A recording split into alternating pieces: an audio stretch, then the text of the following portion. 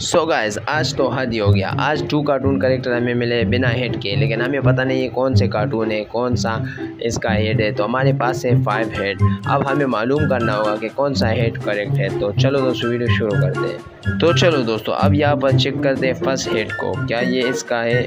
नहीं जी, ये तो इसका नहीं है। चलो अब दूसरे कार्टून करेक्टर पर चेक कर लेते हैं। सो गाइज़ ये ये भी नहीं है। तो चलो फटाफट से इसको क्लोज कर लेते हैं। चलो गाइज़ अब ये दूसरा वाला हेड हम चेक करने जा रहे हैं यहाँ पर, लेकिन ये तो नहीं है। चलो जी, इसको क्लोज कर लेते हैं और इस कार्टून करेक्टर पर चेक कर लेते हैं, लेकिन ये भी नहीं तो चलो दोस्तों, इसको भी कर लेते हैं क्लोज चलो दोस्तों, अब इस कार्टून करेक्टर पर ये वाला हेड चेक कर लेते हैं लेटर सिंगम का। तो ये तो इसका ये गाइज़ तो ये तो डन हो गया। चलो दोस्तों, अब अगला वाला देखते हैं। सो गाइज़ फाइनली एक बॉडी का हेड मिल गया लेटर सिंगों का। अब ये दूसरा वाला है, लेकिन ये इसका नहीं गैज इसको कर लेते क्लोज अब ये लास्ट हेड है हमारे पास तो क्या ये मैच हो सकता है? लेकिन गैज हाँ फाइनली ये मैच हो गया।